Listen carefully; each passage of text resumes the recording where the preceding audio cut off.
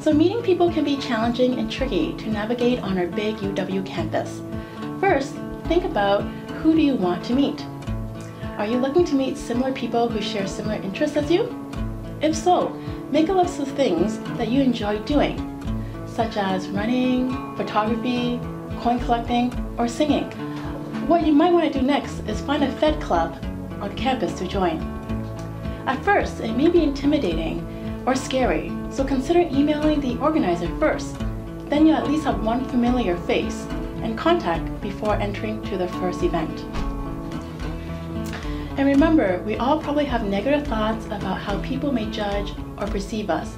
That is a universal experience.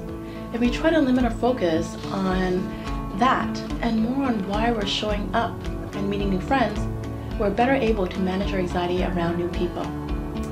People are generally friendly and are also eager to have you join and make connections.